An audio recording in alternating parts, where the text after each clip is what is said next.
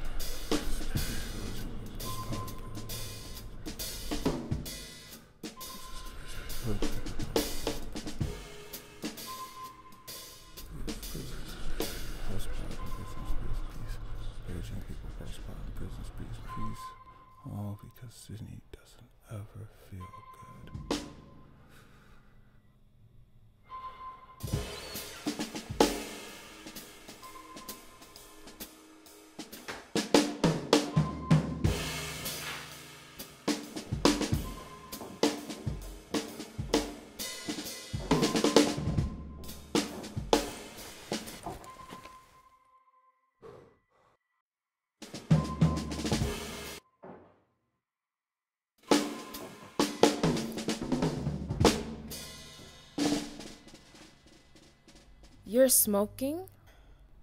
Don't ask questions you know the answer to. You know what work does. What work does for you or what you do for work? There we go. Prisons pierce peace, pillaging people postpartum. What does that mean? Prisons Why do you pierce peace, pillaging people postpartum.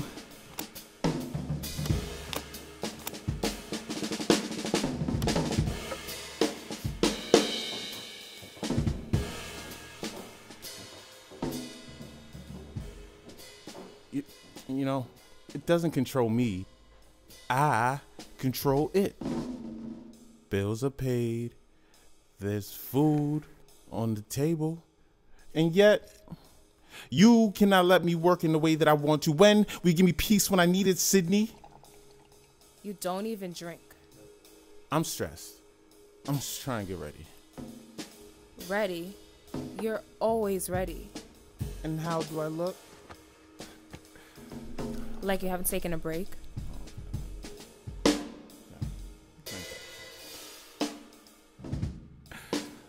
Uh, there's something about the burn of a higher proof that is somewhat healing. Healing. Heavenly. Horrific. Horrific. Horrific. Horrific. Honest. Hellish. Joaquin. I never met someone who made honesty look so hellish.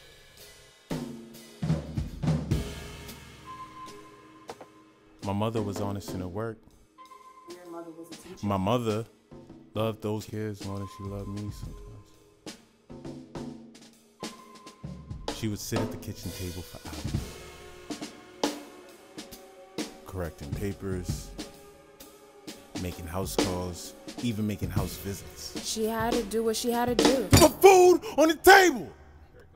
You know, I used to get in trouble with all the other teachers at school, knowing damn well they would kick me out and send me to her class.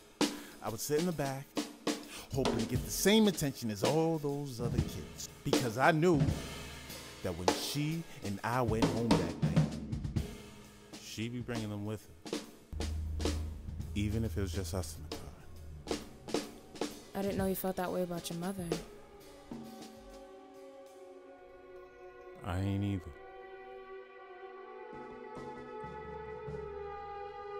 Where's my journal? Oh, God.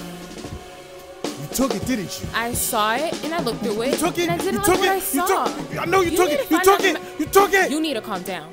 Prisons, pierce peace, pillaging people, postpartum. Prisons, pierce peace, pillaging people, What does postpartum. that prisons, mean? pierce peace, pierce, prison, pierce peace, pillaging people, postpartum. Well, where is it? I you took it. take You took it. I know I you didn't took it. You took I it. you take it, took it. Prisons, pierce peace, pillaging people, postpartum. Prisons, pierce peace, pillaging people, postpartum. Pillaging peace, pillaging people, postpartum. What is wrong? What is going on? Prisons, pierce peace, pillaging people, postpartum all because Sydney doesn't ever feel good.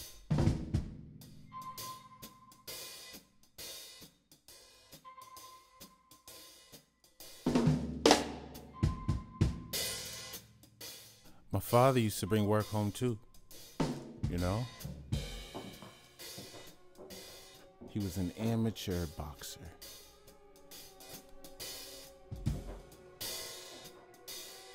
A boxer boxer. Boxed in. Boxing back. Bringing battles from outside of the ring and into our home. My father was an amateur boxer.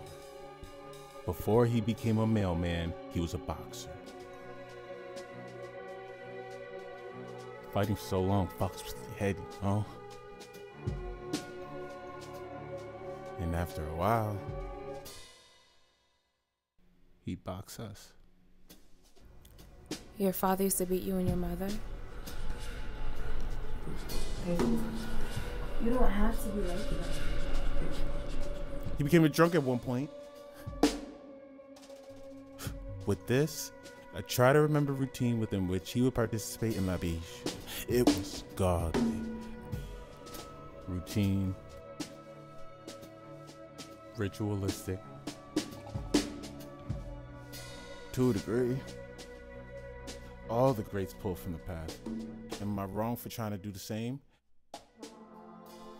Dear? But it's breaking us apart. Don't you see that? Like sometimes it's hard to remember who you even are. The real you. Why don't you just forget about me? Us. Forget about this house. Forget that any of this ever happened. Just don't let your method break us. You can't break what's already been broken. Our. We don't.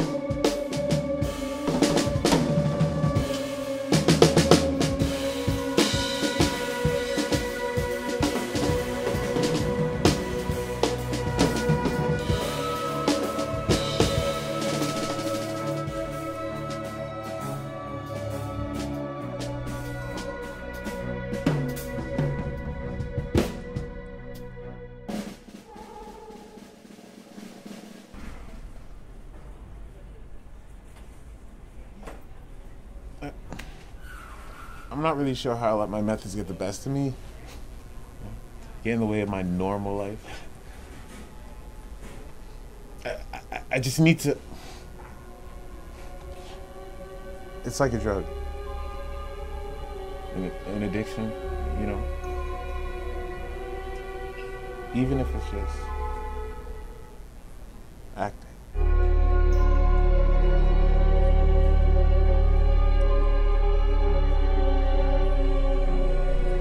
Cannot wait until the day when I finally get a chance to break.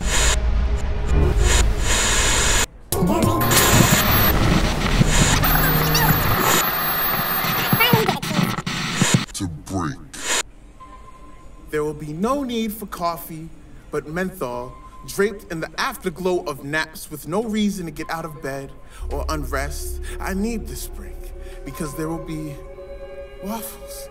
Not to be confused with pancakes, I will turn off my phone and instantly be by an ocean with a drink and a sunset and someone to share all of this cliche with. In fourth grade, I learned that sleep was the cousin of death, What's dying if we spend most of our lives doing it? And I still haven't slept in days now, but I know I got a break coming. Some solace within solitude, but remaining around all the people who bring comfort at the same time. They once used to make us work for several days at a time with poor food, no showers, and no sleep. What happens to a life when they endure this without breaks? Does it take one anyway? In seventh grade, instead of history, I learned that real niggas don't cry. We do not have time for your tears, black man. Your self investment is starving, but your family is hungry hungry. You break when you die. Who is you anyway? Where do they count in all these sheep? How come they are never heard? I still got an A in history, cause life is fucked up like that.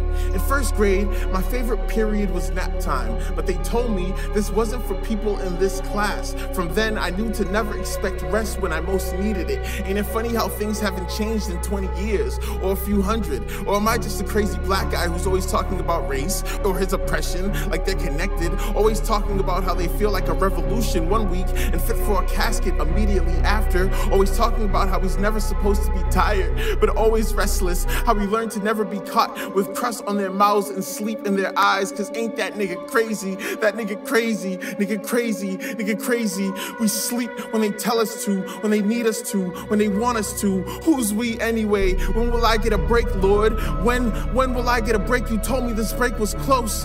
When my body is a stale cookie in my pocket. I give a piece of it away by accident when I pay too much attention to anyone but myself. They told me that there would never be time for this break. It cannot fit in between social justice and self care, between the world and me, but it's coming. I feel it's freedom behind Thursday, just out of harm's way and arm's reach. I see you break, hiding with the Hennessy and potential addiction, carefree, innocent, and every bit as more dangerous. One day I'll decide what you mean to me, or maybe you'll do it for me.